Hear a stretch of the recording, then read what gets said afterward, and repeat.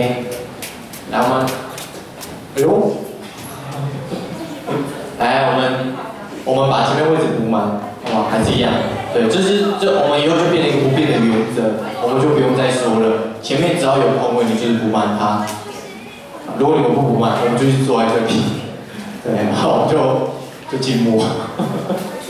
来来来来，前面有很多位置，来把，这就我们变成一个不变的原则了，好不好？一个一个学生区的一个风气就是什么？我们就是坐最前面的位置，前面假设有空位，你就坐到前面去。如果你不愿意的，我虽然真的说的很明白。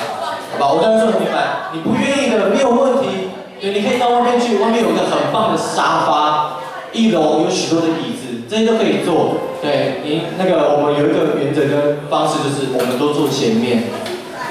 我看到如果有人不，就是前面有空位的，我帅哥就不开始，因为我觉得这是个原则的问题，好不好？所以当当当后面这两个姐妹，我我不懂你们不往前坐的意思，我们要慢慢开始，对。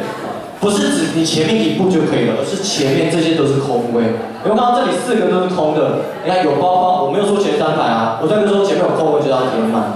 对，如果你不要，我们就是继续坐在这里。对，就不要开始。呃，这是谁？这是谁？怎么会有空位在这里呢？对不对？谁？不，没有，没有什么你的背包的。来，我们就就会耗在这里吧。我肯定你们耗在这里，绝对没有问题啊，对对？对。绝对没有问题。我很喜欢浪费时间，我也我也很喜欢浪费时间。来来来，来到前面坐吧。来吧来吧来吧。好，那个辅导我们就当榜样，就坐在前面吧。如果学生们不做，就辅导我当榜样，对不对？除非那旁边是有，除非旁边那个位置是有人的，你可以不用坐。来，请问是谁坐的？这个是谁坐的？这是谁坐的？好，那来坐坐前面啊。那这是谁坐的？好，这里啊，凯杰哥。这谁做的？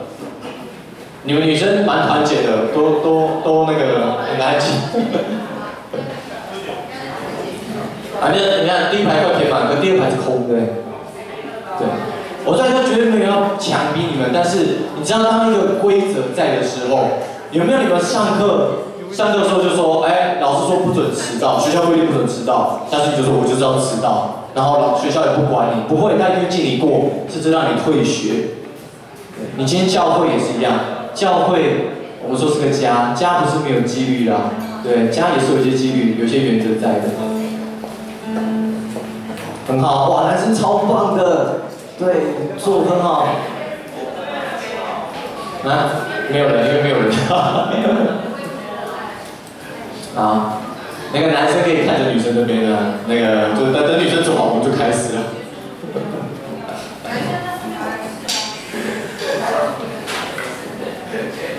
这就变一个原则了啊！那我们你一进来你就不用挑后面的位置了啊，除非我们我们学生区爆满，好，你就可以挑后面。可是如今不是，你们这群精英，既然都要叫精英，就是要抓在前面。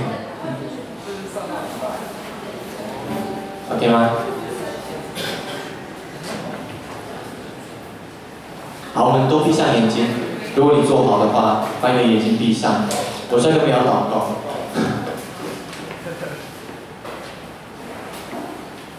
好，把你的眼睛闭上，你一个安静的时间，把你的眼睛闭上。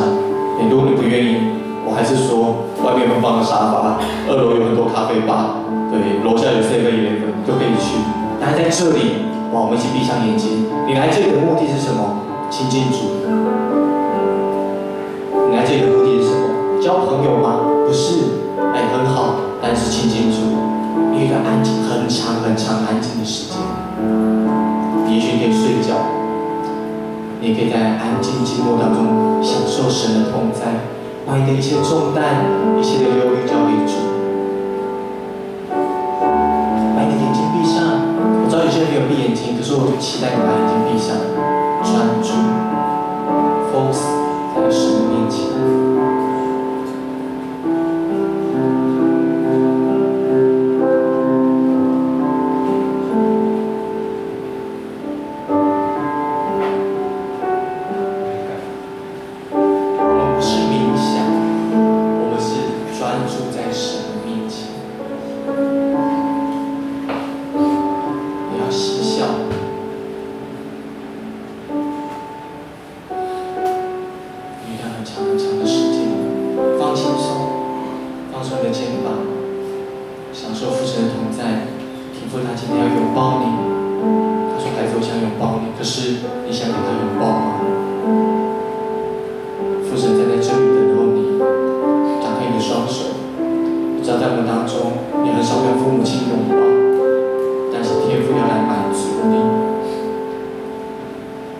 世界上有许多的问题状况，但是谁没有问题呢？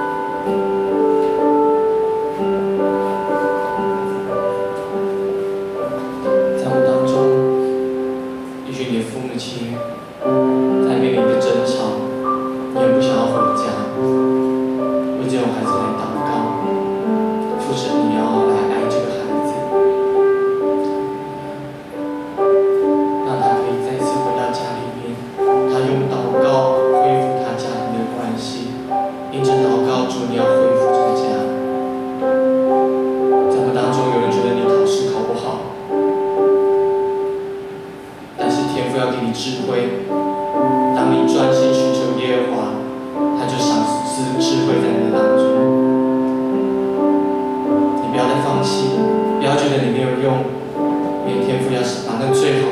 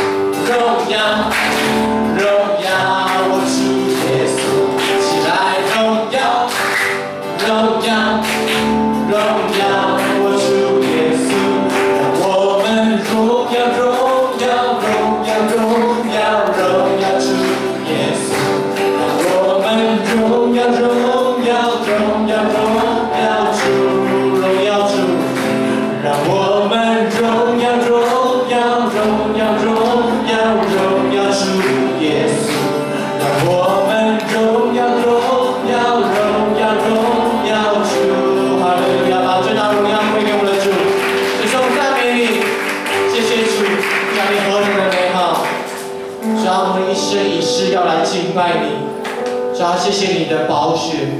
主啊，你要再次洗净、涂抹、遮盖在每一个孩子身上。我知道在我们当中，也许你还是不够专心。我知道还是要再说，外面有沙发，一楼各个地方有许多好玩的。如果你真的不愿意敬拜，你真的有许多事情，好像你拿着东西，你在看各式各样的东西。对我就是在说你们，但是你们还是在继续玩。我所以真的鼓励你们可以到外面去。不要影响在这个敬拜，是一个荣耀的敬拜。我在跟上帝说，这里是万国万民祷告的殿，不是贼窝。所以好不好？我们专注来到主的面前，好渴望你。我没有要责备你们，但是一个敬拜不应该是这样，不应该在下面嬉嬉闹闹，不应该是有说有笑的，而是享受在神的荣耀里面的。如果你真的不愿意，我在跟你说，这外面可以，可以去外面。可以到别的地方去，但我渴望我们是一起敬拜主的好弟兄、好姐妹，在里面是一个好的同伴。我真的没有比你们厉害，我们都是一样的，我们都是罪人。但谢谢主为我们舍命，我们做诗歌来敬拜他。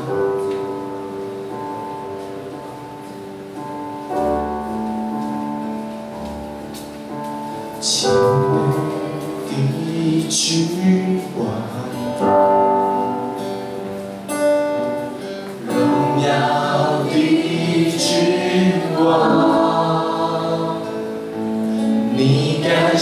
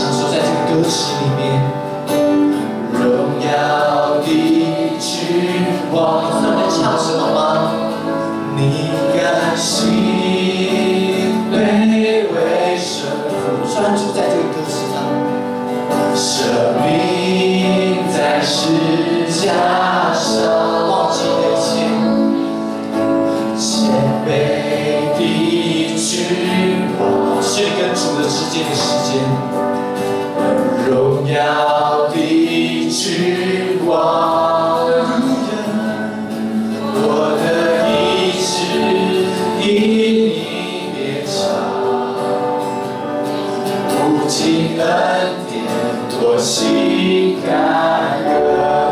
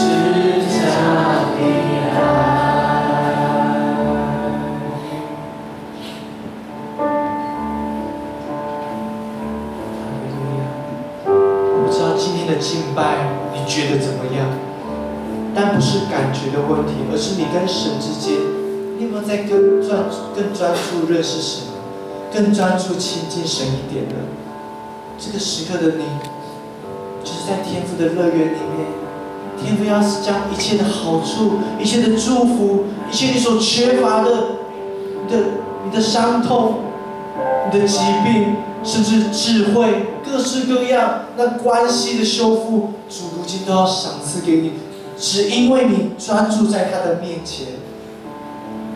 谢谢主，主你让我们这个教会的学生们，他们从上到下每一个都做榜样，每一个人都说我来到教会，我就是要坐第一排，我觉得就是要坐最前面。因为主，这是我跟你之间的关系，跟别人没有关系，这是只因为我跟你有，我想要渴慕你，如绿切如溪。主啊，谢谢你，主啊，我知道这个教会的学生们要改变，主啊，从敬拜开始，从从不迟到开始，从第一个坐到最前排开始，这个这群学生们要改变，要成为精英，成为基督的精兵。谢谢主，听我们的祷告，求主你悦纳我在你面前的敬拜，是奉靠耶稣基督的名求。阿门。好吧，坐在前跟你旁边说，真高兴跟你坐在一起。所以后面的你晚来的好不好？不要打破这个规矩，往前补。只要是空位的，你就往前补，不要打破这个规矩。他们好不容易都来到前面，不破坏这个规矩。所以更是辅导们、领袖们坐在前面。如果他不是包包的，他是个空位的，你就坐在前面。不管任何人，好不好？如果你排在后面的，鼓励来到前面。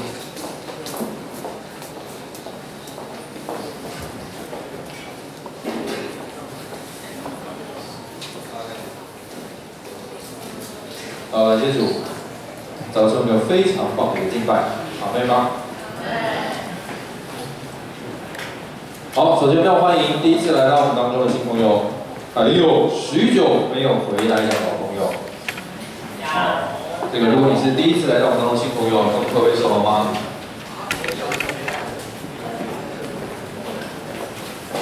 哎，有，是不是第一次来？欢迎你们再次看到你们。好，接下来是我们徒步正道时间。今天要为我们正道的是林书会传道吴慧姐。好，他要正道题目是尊主为主，让我们掌声向荣耀的神。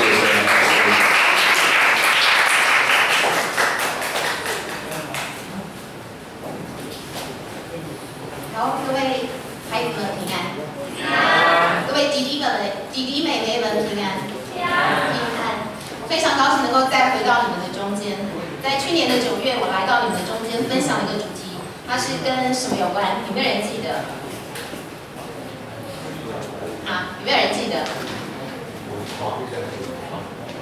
跟九七二法案有关，跟你们终身大事有关，对吗？对不对？我们讲到婚姻是上帝所设立的，所以我们要尊重婚姻，我们要按照上帝的心意，一男一女结合成为夫妻。所以我们要怎么样反对九七二法案？那今天我要讲的是另外一个主题，可是今天的这个主题叫做尊主为主，它同样的是回应到上帝，你在我的生命里面，你真的很重要吗？你们看得见这个字吗？看不见。你是说我的这个吗？好，我今天呢，我今天要请大家从好几个人物的身上去想。刚才文帅哥一直在讲，你们敬拜要认真，你们敬拜要专心，你们敬拜要怎么样？要火热，要爱主。可是，如果我们在生活的里面没有尊主为主，那很可惜哦。为什么？很可惜。但是在开始之前，我想问大家：我们过去几天是干嘛？放寒假，对不对？谈一下，那大家去哪里玩？啊，你们去哪里玩？你们去哪里玩？动漫展，对不对？啊。所以姐知道啦，在二零一四台北国际动漫展，在哪里？请问是在世贸吗？南港，为什么去南港？啊，为什么去南港？那里有一个参加 cosplay 的，对不对？啊，为什么要去南港？请问一下，为什么这一次跑去南港？答对了，因为会跟书展冲撞。参加动漫的人非常的多，可是真正去看其他书的人非常的少，于是很多书商就不开心啦。你们这些动漫展的这些孩子们，参加动漫展的书商，你们的场地那么的小，可是你们挤那么多的人，然后你们的营业额那么的高，那今年我就不要跟你们一起参展了。这些原本的书商的厂商，他们就说我们不要跟你们一起了。然后动漫展的这些书商也说我们。人比较多，我干嘛要跟你一起挤世贸？我才不要跟你一样，所以他们就自己跑去南港开了一个展览，非常的火热，多火热！有没有人知道？好？有没有人知道？有没有人知道？我上网看了一下他的资料哦，他四天的动漫节有多少人参加？啊，有多少人参加？四十万九千人次，四十万九千人次。四十万九千人次，请问你的学校有多少人？啊？四千人，所以四十万九千人次是多少人啊？这一次在南港，对不对？去年他们在世贸，结果有多少人？有三十三万人次，所以他们这一次挪出来，挪到南港，对不对？很对哦，有多疯狂呢？请问那个有去 cosplay 的人？下雨天排队。挤爆，疯狂的抢，有没有？搭帐篷的搭帐篷，有没有？搭帐篷的搭帐篷，根本就在外面排队，为了要抢进去，有没有？排一个月哦？有必要这样？对对对，有必要这样吗？我也很好奇啊，有必要这样？拿到了就有多开心啊！看看笑到多灿烂啊！跟 cosplay 的人照相，多开心啊！这是谁啊？这些人是谁啊？有没有人知道？啊，有没有人知道？我也不知道是哪个动画，我只知道这个人超级开心，他不断的跟这些人照相，非常非常的开心，简直就是疯狂到极点了。好。那我要问你们啊，你们有没有听过里面还有一个人叫做我还不认识他嘞，叫做虚渊玄的。虚渊玄做什么事的？听说他在二月五号来到台湾，他从日本来到台湾，他是一个日本动漫界的知名小说家兼剧作家。然后他以他的作品沉重硬派风格著称，笔锋细腻又深刻。然后呢，善于描写角色内心黑暗面跟冲突，故有什么“黑暗教父”之称。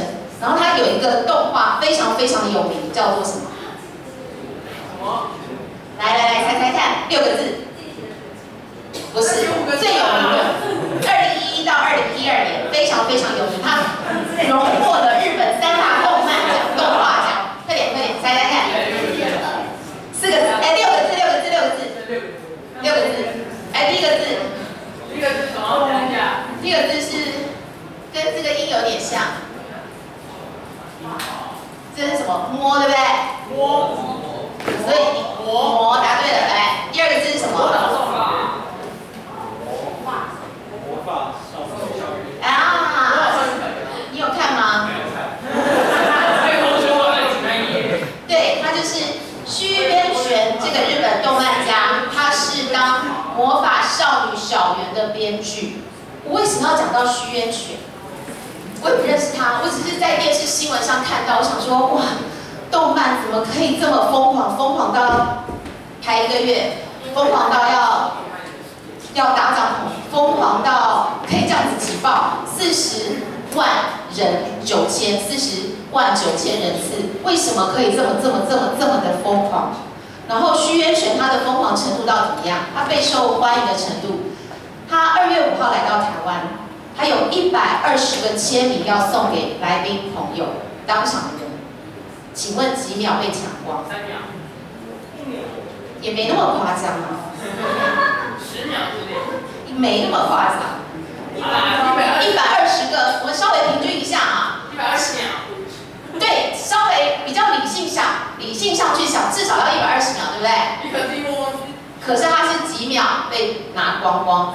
九十秒。哦，也还好。平均到不到一秒？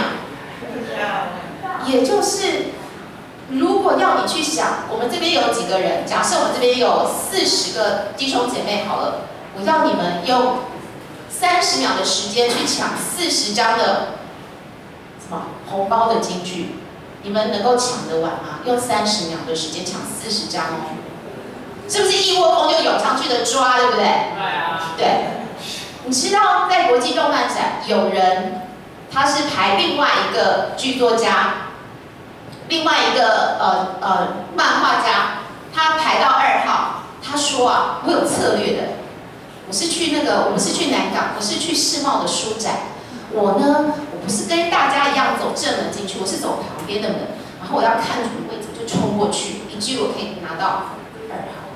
他非常的仔细的去想所有的策略，就是为了抢，好像抢头香，有没有？抢第一名，抢第二名，就是要去抓。可是我想问你们，就像刚刚有一个是谁说有必要吗？请问你们觉得参加这些动漫展的年轻人，他们其实年纪跟你们差不多，对不对？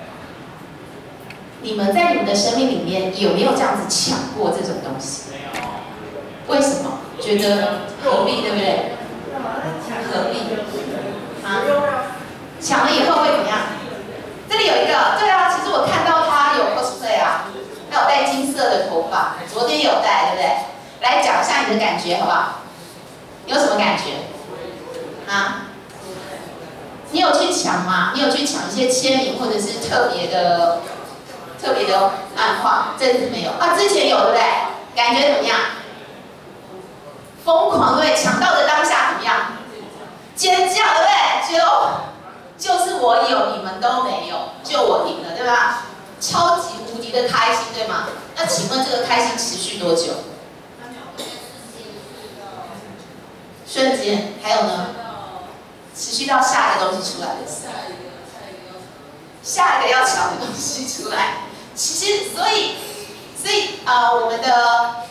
于轩有帮我们说到一个点，他说抢非常非常的开心，他抢到了，但是抢到的快乐持续多久？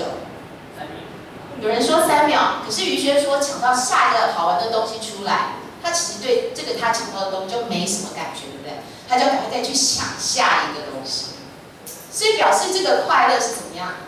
短暂的，短暂的。但是你的确会为了这个短暂的快乐疯狂那么一下下，对不对？疯狂。所以其实我们的生命里面，我们都有一些想要去追求的东西，不管是动漫，或者是一个签名照，或者是甚至男孩子里面有没有很心仪的女生啊？有没有看到谁就为之疯狂，为了他来聚会，为了他去上课，为了他去补习，偷偷坐在他的后面之类的？我也不晓得，有听说有诸如此类的事情。所以你们可以稍稍的体会所谓疯狂这件事情，对不对？能够稍稍的体会特别喜爱某一样东西的感觉，对不对？譬如说某一首歌，或是某一个明星，你们有特别喜欢的东西吗？是什么？要不要说一下？不要，是秘密吗？好，我要说的是，在圣经里面也有一个人物，他曾经非常非常的癫狂，他曾经被形容是什么？保罗，他被形容成怎么样？癫狂。菲斯都是一个大人，是一个是一个当时有名的人，他在跟保罗有一些辩论，辩论保罗所信的这个信仰。结果菲斯都大人就说：“保罗，保罗，你癫狂对吧？你的学问太大了，还叫你癫狂的。”结果保罗说什么？菲斯都大人啊，我不是癫狂，我说的乃是真实明白的话。那请问保罗有多么的癫狂？为什么他怎么样的为神癫狂？有没有人读过菲利比书？啊，有没有人读过菲利比书？他怎么样的癫狂？这个是在保罗在哥林多后书他在说自己的时候，他说：“我们如果真的癫狂，是为神，就如同刚才那个弟兄说的，他的确为神癫狂。可是他为什么要为神癫狂？有没有人知道？啊？为什么要为神癫狂？这么的有意义的癫狂吗？他信的上帝跟我们刚刚敬拜上帝一不一样？为什么保罗要那么那么的癫狂？啊，为什么？他这边说，哎，刚刚说什么？他说什么？啊，说什么？大家怎么样？好，保罗他自己说，如果我真的癫狂，真的是为神；可是如果我很谨守，也是为了弟兄姐妹。但是我要强调的是，他果然是为了神而癫狂。他为了神而癫狂。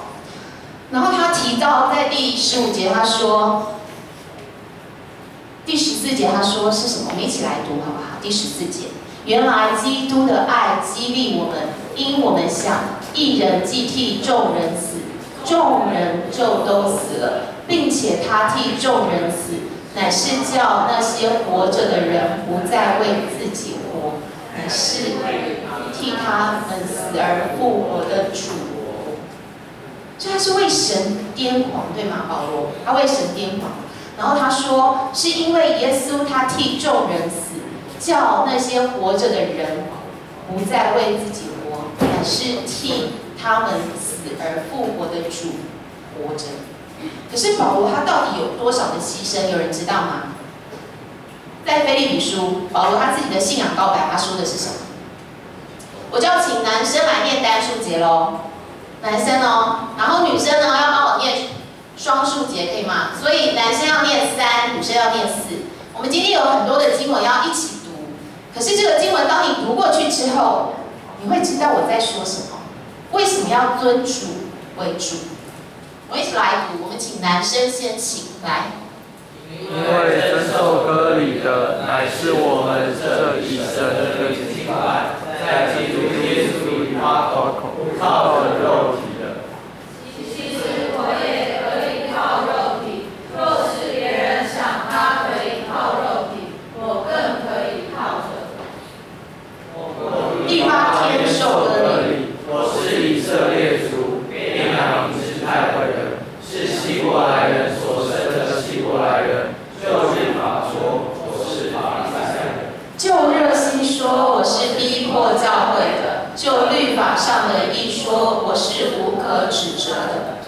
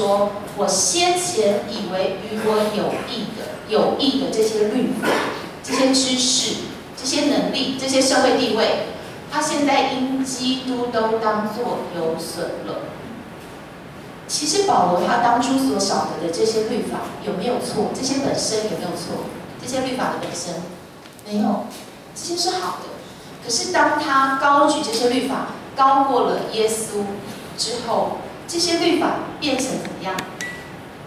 为什么会拦阻人认识耶稣？因为他们就靠律法称义啊，他们靠律法行善啊，需不需要耶稣的十字架？完全完全不用。我今天能够受割礼，我今天有行到律法上的所有要求，我就可以告诉人家说我是好人。那我告诉人家是好人的同时，其实我的理念怎么样？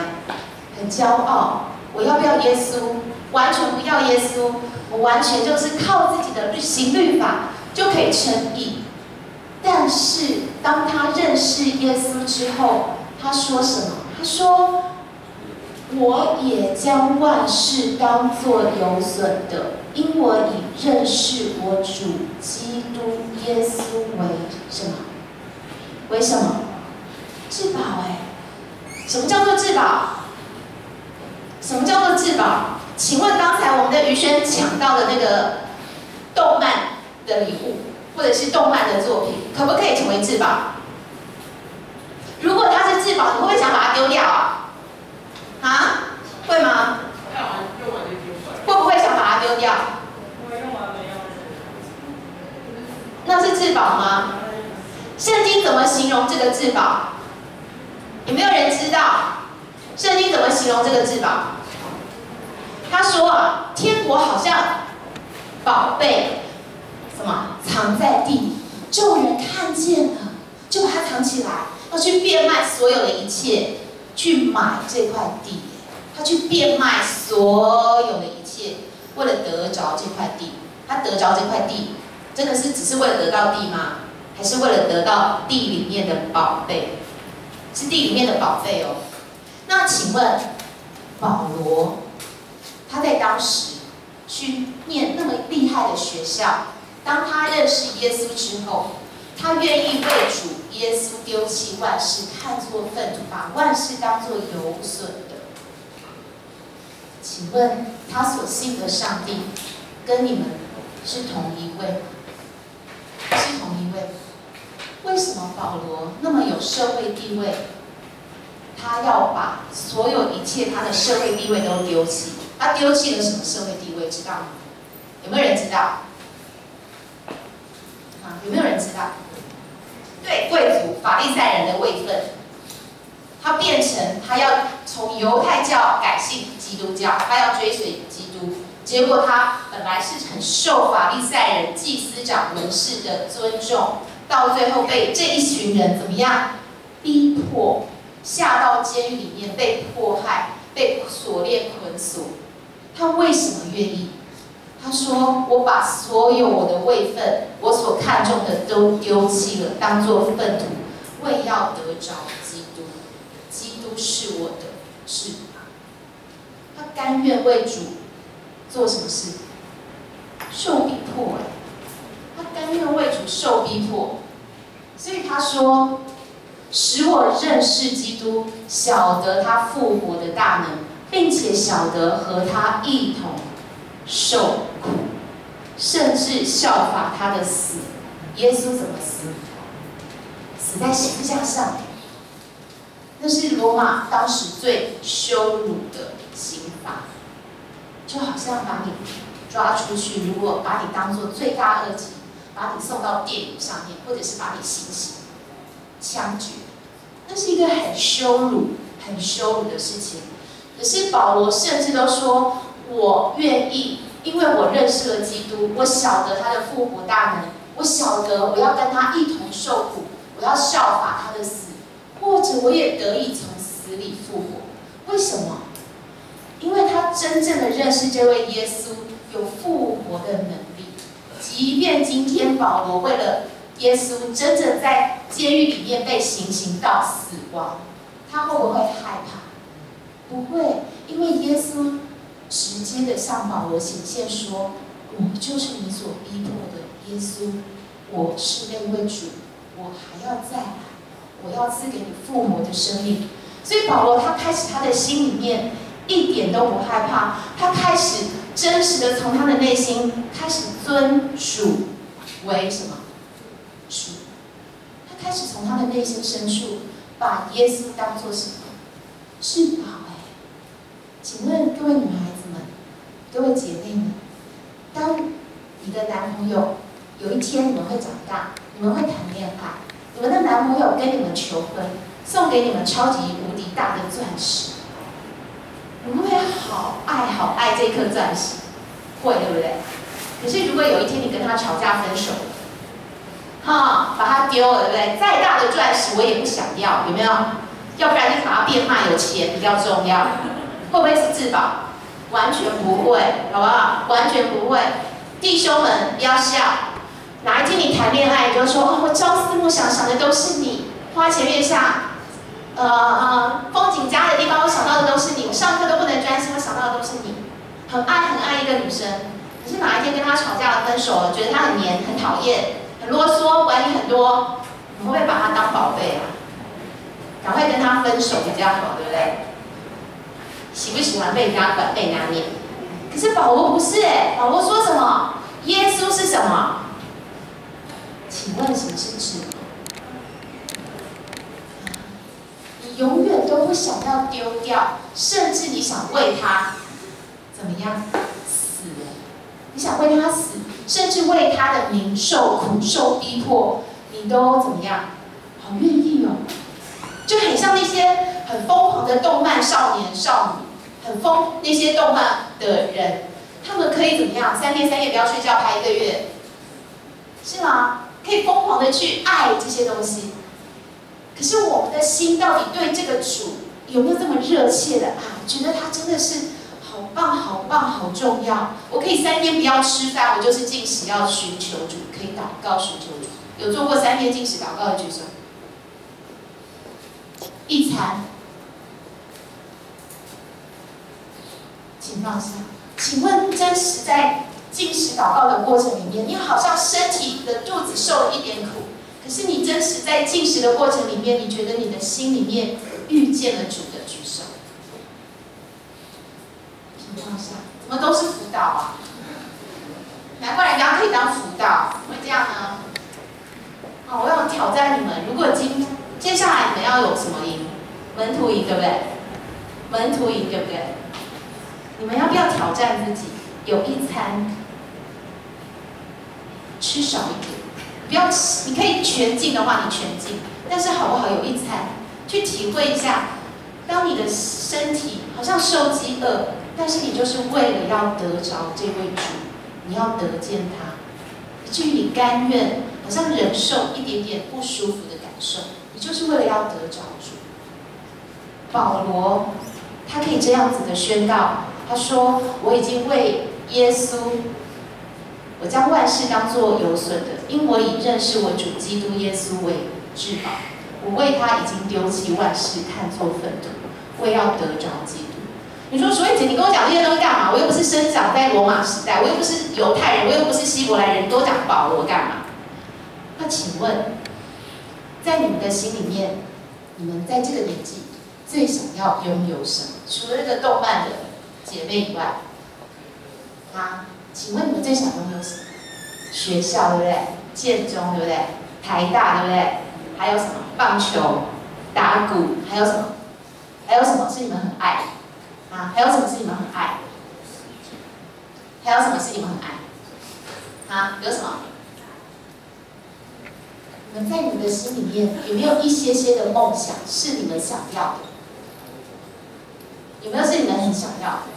当我在你们这个年纪的时候，我也曾经，我也曾经很年轻过，好不好？我曾我在你们这个年纪的时候，我满脑子想的是什么？有人知道对不对？我听过我的见证，请问我想要的是什么？成绩。最想要得班上的第一名，甚至全校第一名。我最想要直升保送高中部，为了拿奖学金，我满脑子想的都是这些。我满脑子想的都是这些东西。结果考上了，我保送上了在新高中，结果我有了什么？哎，我有了奖学金啊，我有了，我有了成绩，可是我失去了健康，我开始变得很胖，我开始近视眼，我开始有很多的脸上长很多那个会出脓包的痘痘，因为每天熬夜看书。哎，我有成绩，可是我又失去了很多东西。哎，我考上了高中，结果我又要考什么？又要考大学，考上了大学，那我又开始想什么？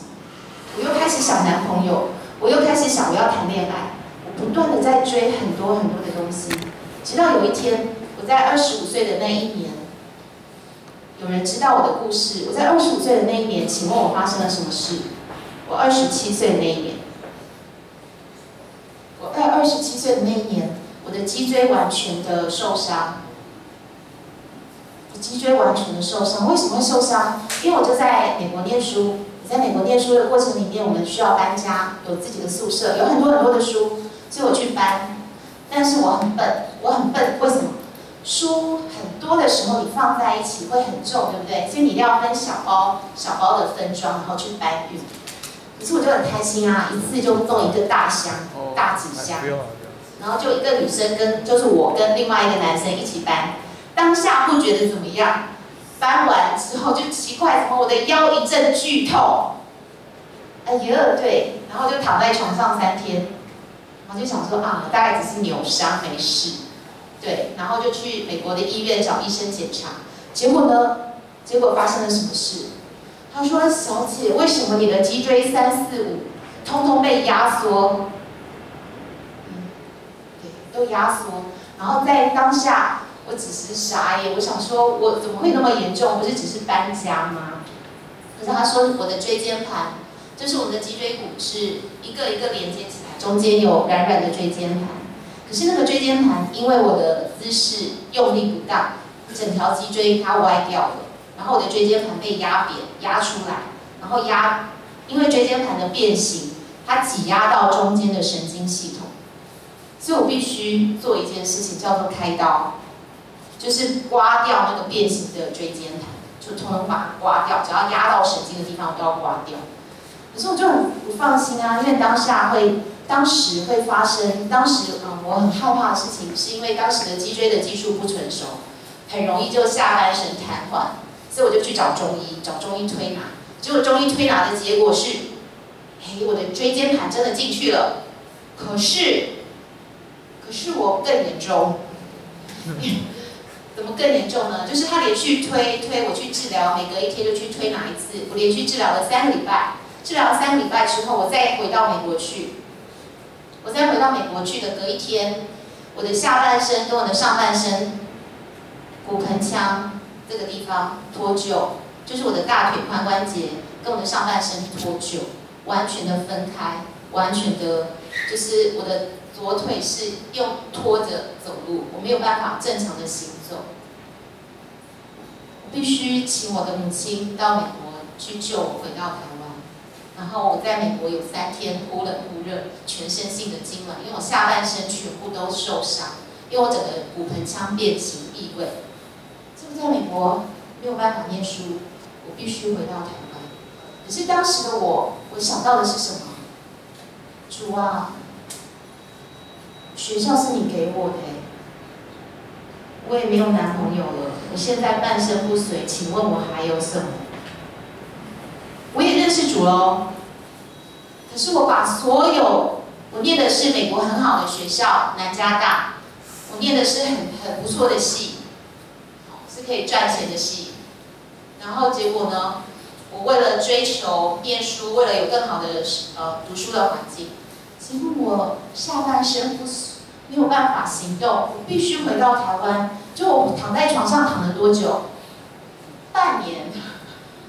躺在床上躺了半年，然后开始有两年多的复健，直到有一天晚上，神就在我跟神祷告的过程里面，神就用这一两节经文告诉我：淑慧，你过去追求学业，淑慧，你过去追求美貌，你追求男朋友感情，请问你如今还拥有什么？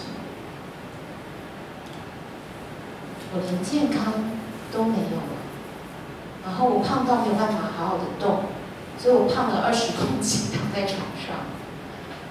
我又没有男朋友，我男朋友早就不要我，跟我分手。请问我还有什么？我学校学校也回不去了，没有办法出国。我过去都觉得对我很好啊，对我有益啊，念书是好事啊，每天常常运动，保持身材健康也很有益啊。交男朋友也是理所当然的，有错吗？没错。可是我并没有把耶稣当做什么，他不是我生命当中最重要的事，他是我最最不重要的事。我先去念完书，我有空再去教会，对吗？我有时间再去教会，啊，去教会就认识好朋友，去教会很开心，然后有困难的时候就求求耶稣救救我。可是他在我的生命里面不重要，因为我并不是凡事都求问主，我甚至也没有为主受苦的心志，像保罗一样。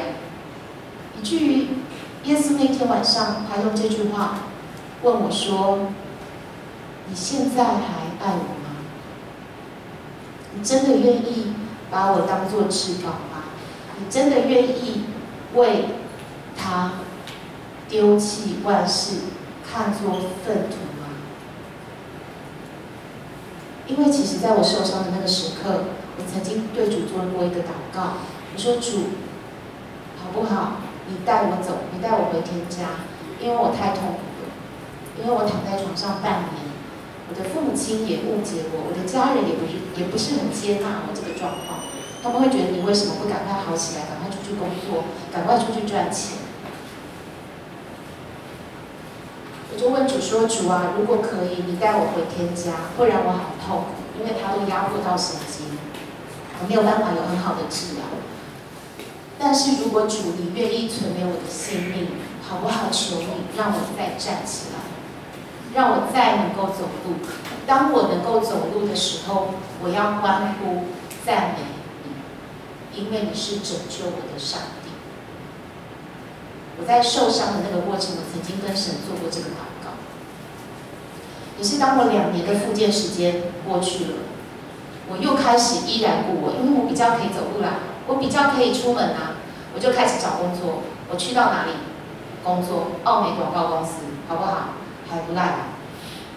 我满脑子想的就是，那我要怎么样有名有利有钱，然后甚至再出去继续把学位念完。可是当我在做很多决定的时候，我有没有求问耶稣？没有，我没有把它放在我最重要的地位。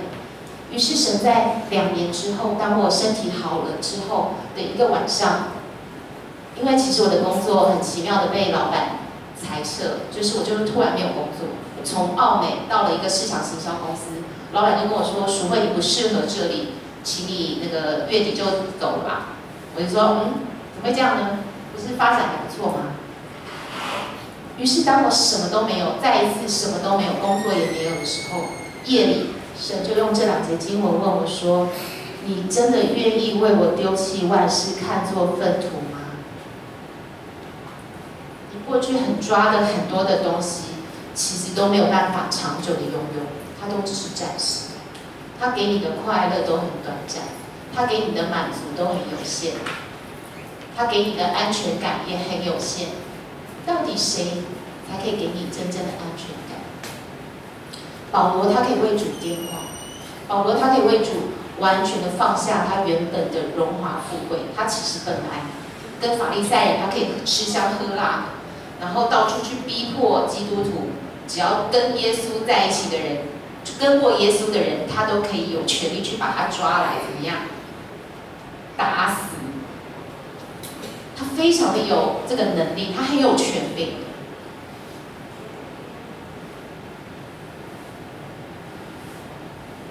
你看，在加拉太书他说什么？他在犹太教中所行的是怎样极力的逼迫、残害神的教会？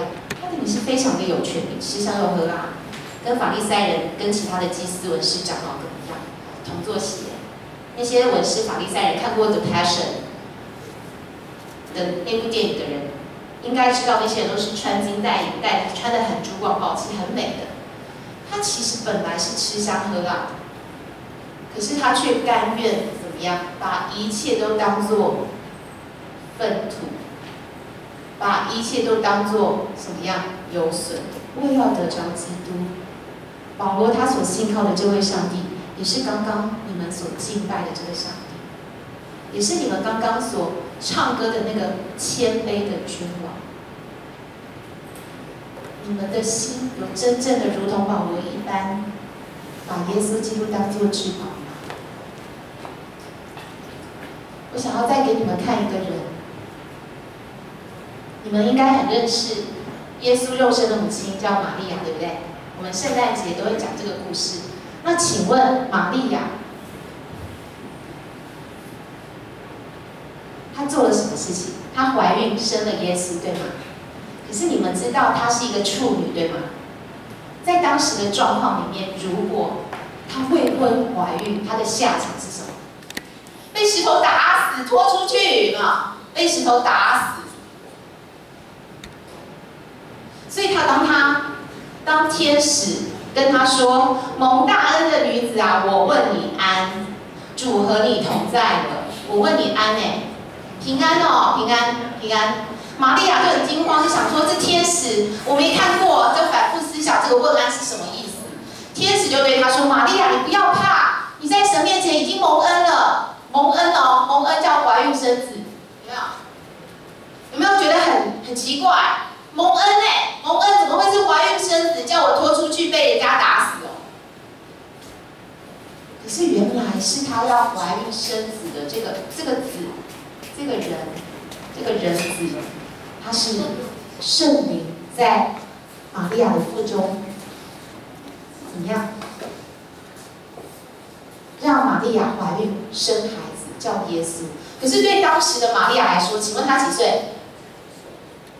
在当时的习俗里面，其实玛利亚只有十几岁，十几岁的庶庶女少女，她是被许配给她的未婚夫。然后一年之后她就进门，一年之后她要跟约瑟成亲，可是，在十几岁这个年纪，我们当中可能有很多的人都比这个玛利亚年纪更大。可是玛利亚她听到天使问她这个安，然后居然跟她说平安哦，你已经蒙恩了哦，蒙恩。可是你要什么？怀孕生子。请问如果这种事情临到你，你会不会想要？我搞不好会被人家出去打死哎！我要不要？我老公可能不要我的未婚夫可能不要我，你要不要？你要不要这件事情发生在你身上？请问你们要吗？也不想要啊，因为好可怕。我为什么要这种悲惨的事件发生在我的身上？可是当玛利亚她知道，她原来是生了，是神亲自从她的体内，因为圣灵让她生产，让圣灵让她怀孕，她要生的这位人子叫耶稣，他是至高者的儿子，他是要做主的。他要做雅各家的什么王，直到永远，他的国也没有穷尽。他发现是上帝特别给他的一个呼召、一个命令、一个心意，他就开始说。然后天使就跟玛利亚说，他当然有些中间有些问话，玛利亚就对天使说：“怎么有这些事呢？怎么可能？”然后天使就回答说：“是圣灵的能力到你的身上，是至高者的能力要硬币你。”因此，所生的圣者要称为神的儿子，哦，是圣灵在他的身上。然后这个时候，天使又用了一个人当做人证，证明上帝的大能。这个人证是谁？伊丽莎白。他说：“你的亲戚伊丽莎白在年老的时候也怀了男胎，就是素来不能生育的，现在怎么样？有孕几个月？六个月。”上帝给玛利亚一个人证，天使告诉玛利亚说：“你的亲戚伊丽莎白也怀孕喽，她已经六个月了。”于是，在圣经的记载，在路加福音，他的确，请问玛利亚有没有去找伊丽莎白？有没有？有。他去问安的时候，他腹中嘛，伊丽莎白她腹中的胎怎么样？开始跳动哎。于是玛利亚开始知道，原来这个天使告诉她的都是怎么样？都是真的，都是真的，都是真的。可是，即便当他的眼睛还没有看见伊丽莎白这个事件之前，当他听完天使对他说这句话时，这句话这些过程的时候，在一章的第三十八节，玛利亚就说：“我是主的使女，情愿照你的话成就在我身上。”我是主的使女，情愿照你的话成就在我身上。天使跟他说，只是跟他说：“你蒙恩哦，你要怀孕生子。”非常突兀的一个对比。蒙恩应该是蒙受祝福，可是怀孕生子在当下是极大的羞辱，甚至要被拖出去斩。可是玛利亚听了天使对他说的这些话，玛利亚说：“我是。”主的使女，情愿照你的话成就在我身上。然后当他去找伊丽莎白的时候，他发现她真的怀孕六个月，他就开始有所谓的玛利亚颂歌，在路加福音的一章四十六节。我想要邀请你们跟我一起念，可以吗？好，路加福音的一章四十六节，玛利亚说：“我心尊主为大。”我灵以神，我的救主为乐，因为他顾念他使女的卑微。从今以后，万代要称我有福。那有全能的为我成就了大事，他的名为圣，他怜悯敬畏他的人，直到世世代代。他用膀臂施展大能，那狂傲的人正心里妄想，就被他赶散了。他叫有权柄的失位，叫卑贱的升高，叫饥饿的得饱美食，叫富足的空手回去。他扶住了他的仆人以色列，为要纪念亚伯拉罕和他的后裔，施怜悯直到永远，如从前对我们列祖所说的。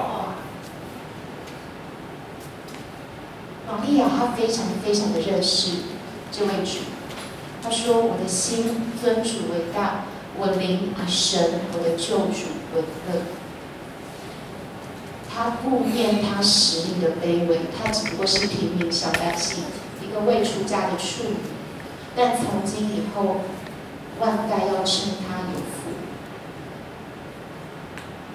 这位主也是有全能的。他要为玛利亚成就大事，他的名为圣，他怜悯敬畏他的人，直到世世代代。他用膀臂施展大能。狂傲的人正心里妄想，就被他赶散。表示玛利亚所信靠的这位上帝有什么样的能力？非常的有能力，也非常的有怜悯跟恩典。叫有权柄的十位，叫卑贱的身高。在你们中间，也许有人觉得我成绩很烂，我的父母也没有很爱我，我弟兄姐妹也没有多么看重我。可是你不要忘记，这位上帝，他可以叫卑贱的身高，他永远可以帮助你，他可以给你出路，他可以让你重新的开始。因为就像啊刚才，嗯，我们的敬拜啊文帅哥他说，他是赏赐智慧的上帝，他是赏赐赐能力的上帝，他是叫卑贱的升高，他是叫饥饿的得饱美食，叫富足的空手而去。如果你不敬畏主，你不爱主，神可以把你所有的财富都拿走。可是如果你今天爱主，你真的尊主为主。神可以要你饥饿的得饱美食，这是玛利亚所认识的上帝。玛利亚所认识的上帝，是不是我们今天所敬拜的上帝？也是，同一位上帝，同一位上帝。可是我们有没有如同玛利亚说：“我心尊主为大，我灵以神我的救主为乐。”他遇见那么大的困境。他未婚要怀孕生子，可是他却说：“我心尊主为大，我灵以神我的救主为乐。”甚至他说：“我是主的使女，I am the Lord's servant。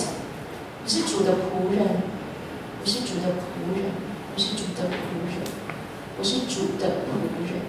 你是主，我只是你的仆人，情愿照你的话成就在我身上。”哪怕是一件危险的事情，因为你是我的主。但他对主的全能非常的有认识，他知道他的主是要成就大事，他知道他的主是叫卑贱的升高，他的名为圣。今天玛利亚她所信靠的这位上帝，也是我们的上帝。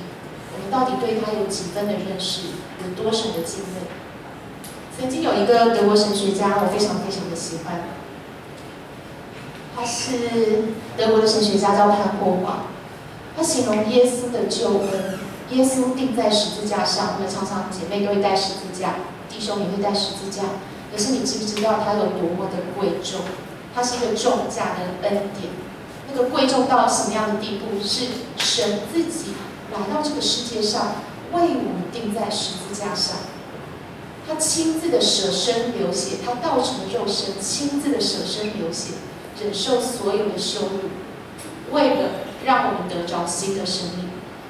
他是一个重价的恩典，他非常的贵重，贵重到耶稣用他的命，上帝自己的命换你跟我的命。他很贵重，贵重到你必须。愿意为他而死，你随时他呼召你去做什么，你愿不愿意？真正的好像如同耶稣说，你要背起你的十字架，跟从我，甚至放下一些你自己所喜爱的。就如同刚才文帅哥要你们专注的敬拜，不要玩手机，不要再看漫画，专心的敬拜。你愿不愿意为了主？放下一点点你所爱的东西。如果你真的愿意，我相信主要对你说话，如同他呼召撒母耳一般。撒母耳怎么回应上帝？他说：“主啊，请说，仆人敬听。”他在英文里面也说：“I'm the Lord's servant. Lord, speak.”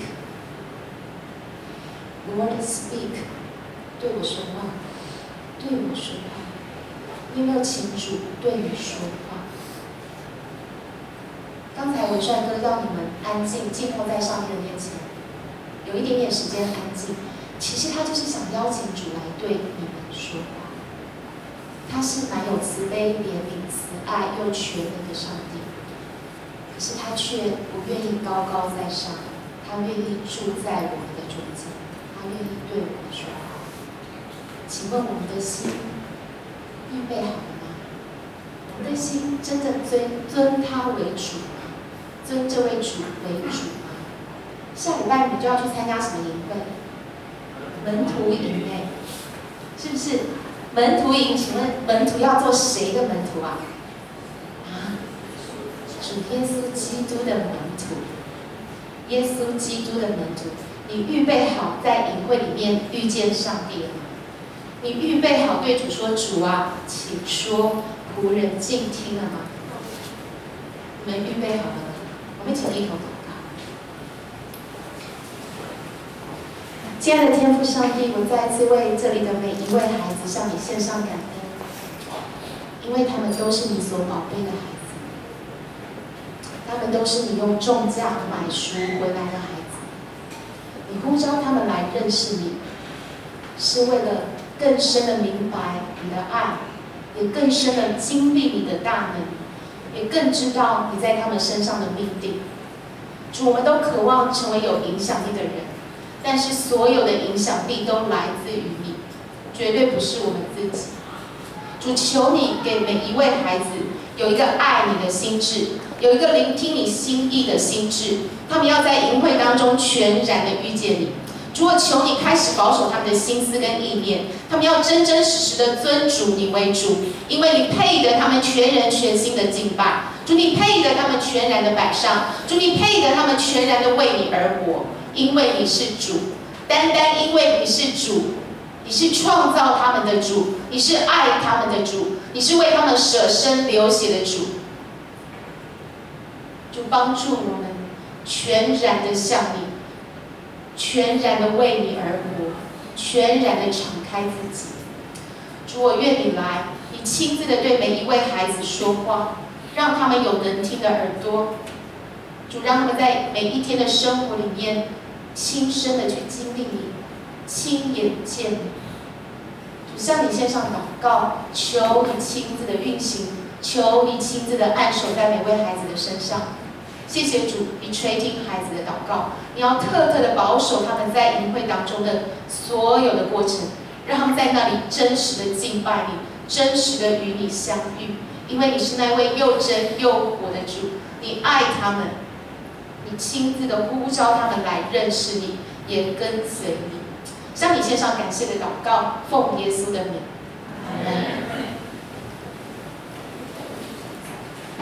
好，我们再次用掌声，将荣耀归神，谢谢主，给我们这样的一件事情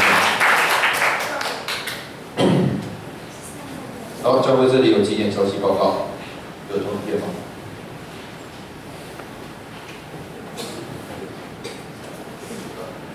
第一届门徒营就是我们呃，应该说这礼拜二月十五号、二月十六号，礼拜六、礼拜天，我们七点半在教会集合，我们要去为你福音园，然后接受这装备也，请各位能够祷告预备心，有非常精彩的活动，也有很有趣的游戏，哦，有很棒的一个装备课程。那我们请于月姐来给我们做一个详细的报告。好那个门徒营呢？这礼拜今天是最后一天报名的机会，所以如果还有人没有报名的，就好好把握。这我知道，这放眼望去，还有些人没有报名。这样，如果已经来我们当中很久，然后网被上帝使用的话，就非常欢迎你要加入这次的门徒营。然后再来呢，等一下，呃，会后就是一点十分的时候，我们要开始有同工的训练这样子。然后就请呃要留下来的人就是。包括整个有在参与在敬拜跟那个 RPG 游戏的，然后此外就是小队长部分，就呃请一楼浩真，然后那个全军军要加毛毛，然后杨志哲轩跟南一，还有俊荣，俊荣是用 RPG，就反正有服饰的同工都请留下，跟现任都是小组长的，就是也留下这样子，因为你们都会是同工。好，那就请大家等一下，我们聚会完赶快拿个便当，然后就来台前集合，我们就就尽快开始今天的训练，因为今天有很多事情要进行，就请大家来配合。那下礼拜呃，对，这就是我们刚才讲，虽然讲一点半，不过我们把它提前了，因为就是我把握时间，我们边边吃边做，我们如同尼西米一样，一边坐在一边就是服侍神。好，那在我们会在最近就是开始把在这礼拜当中会通知大家那个行前通知跟所有要预备的东西，我们会请辅导来告诉你们要预备的东西跟今后的时间，那就请大家要开始来预备心，为你们这次的聚会呃来祷告，有参与在当中的人都请你们开始来在这个星期中开始来祷告，为着整个聚会还有为你们自己来祷告，这门徒仪式会让大家有非常多美好的领受，然后让我们一起在今年要来迎向上帝要给我们的一个计划跟复兴。后面好。好，谢谢月姐的报告。哦，对，没有错，我们要成为这个传扬大使命的这样的年轻人。对，欧哥在大学生的时候，哦，大学毕业后两年开始加入教会的侍奉，然后大专区那个时候，因为我们有一群委身的年轻人，有一波极大的复兴，甚至那个时候有圣约翰大学的学生是千里迢迢来到我们这边聚会。圣约翰大学在哪里？你知道吗？比淡江还要再远，哦，非常的远。下次有有机会的话，你去那边可以去看看，你知道多远？为什么那一群人愿意来到我们荣光来聚会？因为那个时候有一种火热，有一种凝聚力，有一种吸引力。那昨天金正牧师也带了他们的年轻人来跟我们做很好的交流。哎，希望以后有机会，我们能够去到外面，能够服侍，哦，让我们那个不管是国高中生、大学生都能动起来，让别人看见我们的生命力。好，接下来是我们收奉献的时间。奉献是基督徒对神的爱及恩典的回应。如果你第一次来到我们教会的，还不明白奉献意义的，不一定要奉献。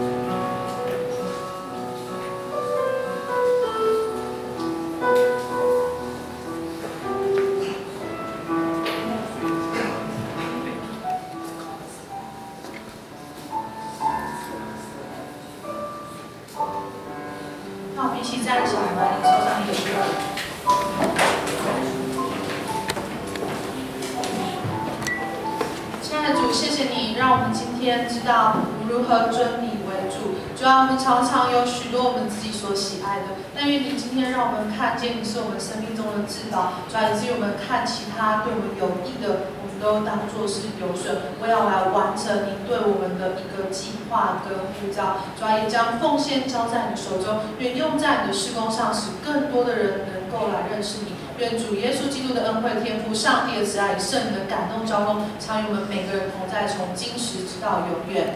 阿门。好，跟旁边的人说，要以耶稣为至宝。要耶稣为至宝，不错哎。